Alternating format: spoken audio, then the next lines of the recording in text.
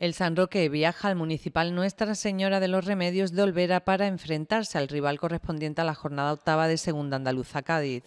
Se trata de un equipo que se encuentra en la zona media de la tabla en el décimo puesto con 10 puntos.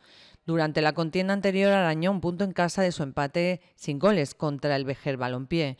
Por su parte, el conjunto rojillo va tercero con 15 puntos, colocado en puestos de ascenso para seguir la misma tónica, ya que solo ha perdido un partido en la sexta jornada de liga.